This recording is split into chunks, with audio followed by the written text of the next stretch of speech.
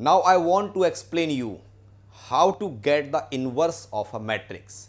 As you know that the inverse of 2 is 1 by 2, inverse of 3 is 1 by 3, inverse of x is 1 by x. So ultimately there exists the inverse of matrices also. Two matrices are said to be inverse of each other if their multiplication is identity matrix. As there are identity elements in where addition, when 0 is added to any number, we always get same number. For multiplication, we have what? 1. If 1 is multiplied to any number, we get the same number. Now the question is, similarly for the matrices, we have the identity matrices, identity elements for the same order. The question is, inverse of the matrix by elementary row or column operation. Only either row or only column operation are required. As and when we start operating either by rows, then we follow the rows. If by columns, then only by columns. Find A inverse if A is equals to 1, 2, 2 minus 1. We want to find inverse of the matrix. To find the inverse of matrix, what is required to done?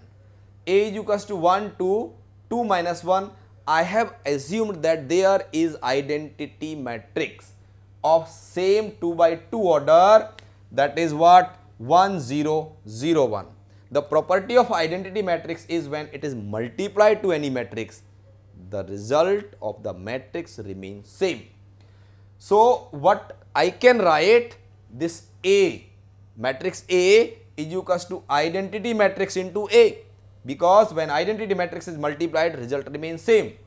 So, A is 1 2 2 minus 1 left hand side and in the right hand side in place of y 1 0 0 1 and this A as it is. Now, we want to apply operation in such a way that left hand side become the identity matrix because the product of the two matrices if it is equal to identity matrix then this these matrices are inverse of each other. Applying R1 is equals to R1 minus 2 R2 reason being we want to make here something like in the position that it should come out 1 0 0 1. So, if we apply it both sides in the left hand side the first row is equals to row itself minus double of second. So 1 minus this.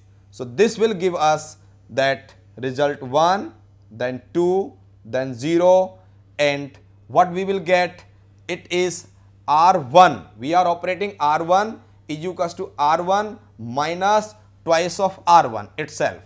So we will get it is 1, 2, 0, 1. Similarly, if I apply here we will get this result and when we apply R2 is equals to minus 1 by 5 R2 we will get this result that is identity matrix which is equals to 1 by 5, 2 by 5, 2 by 5 minus 1 by 5 into A. So ultimately what we are getting? We are getting inverse of the A is this matrix because the product of these two is identity matrix hence inverse is given by 1 by 5, 2 by 5, 2 by 5 minus 1 by 5.